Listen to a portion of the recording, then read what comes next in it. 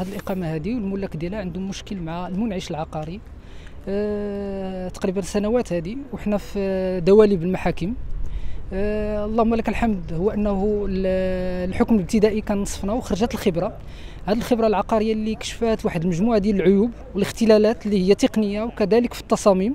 حنا في وقفة أمام المحكمة ديال الاستئناف على أساس أنه أه يعني باش أنه كندافعوا يعني في المسار ديال الدفاع على الحقوق ديالنا والمطالبة بالحقوق ديالنا. وكذلك حنا في وقفة على أساس أنه ضد آه، واحد المحامي على أساس أنه نقولوا لأي واحد اللي سولت ليه نفسه أنه يوقف آه، حائط ولا سد أمام آه، الحقوق ديال الملاك المشركين غادي نوقف ليه بالمرصاد والحقوق ديالنا إن شاء الله غادي ننالوها. بقوة القانون إن شاء الله. بالنسبة للملف ديالنا العدد ديال الضحايا خصوصا في في les titres الناس اللي ما عندهمش les titres يعني كيفوق 100 100 ضحية.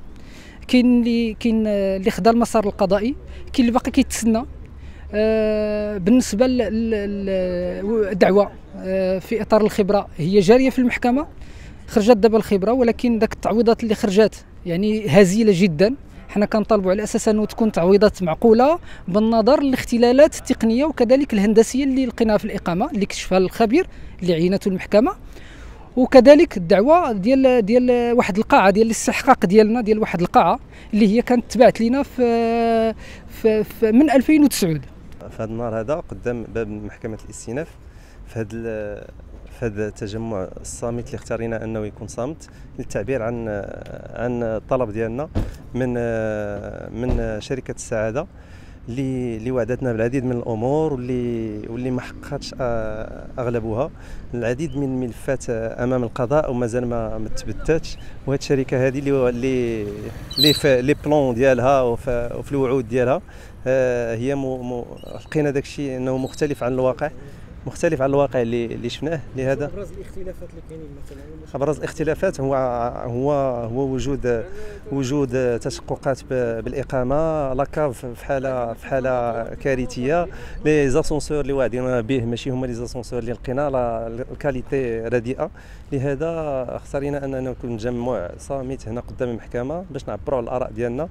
بزاف الناس شراو sur plan بثمن باهظ من بعد طيحوا شوية الثمن ولكن ولكن ال plan والوعود اللي اللي وعدونا باش يكونوا ما ما لقيناهمش. لهذا كنطالبوا من هذه الشركة هذه تعيد النظر في في الأمور وتعتبر أنه الزبون له أهمية قصوى والمطالب ديالو راه هي مطالب جد مشروعة اللي خصها تستجب لها وشكرا. زعما ماشي قدام بزاف. شريت دابا واحد ثلاث سنين ونص أه تقنت عليا الدار بواحد واحد 450 ألف درهم. لكن آه، الاجزاء المشتركة فيها فيها إشكالات عديدة.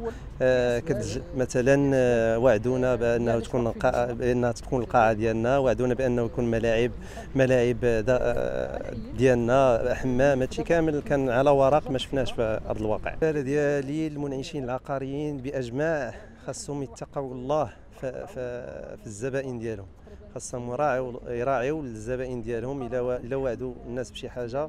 يوفروها لهم ويقدموها لهم لأنه لأنه سهل أنك تبيع لواحد الزبون ولكن راه كتفقد 10 ديال الزبائن من من موراه. وباش تكسب الزبون خاصك توفي بالوعود اللي عطيتيه. وزبون راه كيجيب لك بزاف ديال الزبائن. هذا ما كاين. هذا اللي